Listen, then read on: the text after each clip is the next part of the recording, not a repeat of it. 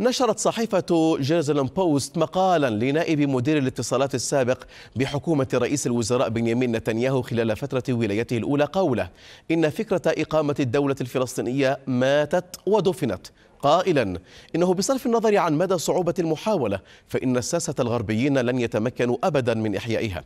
وأكد المسؤول الإسرائيلي السابق في مقال نشرته الصحيفة الإسرائيلية أن الحقيقة البسيطة التي لا جدال فيها هي أن عدد السكان اليهود في الضفة الغربية قد ازداد إلى حد أنه لا يمكن لأي قوة بشرية على وجه الأرض أن تقتلعهم من جذورهم على حد قوله.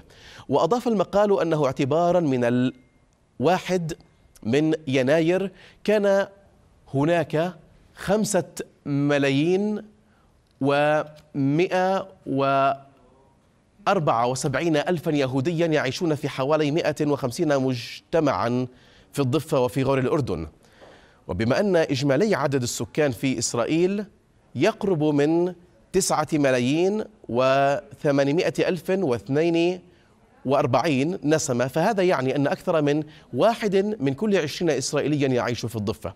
وقبل عقد من الزمن فقط كان العدد ثلاثمائة وأربعة وسبعين ألفا وأربعمائة وتسعة وستين مما يعني أن هناك زيادة بنسبة ثمانية وثلاثين في المئة في عشر سنوات فقط وهو إنجاز هائل كما قال.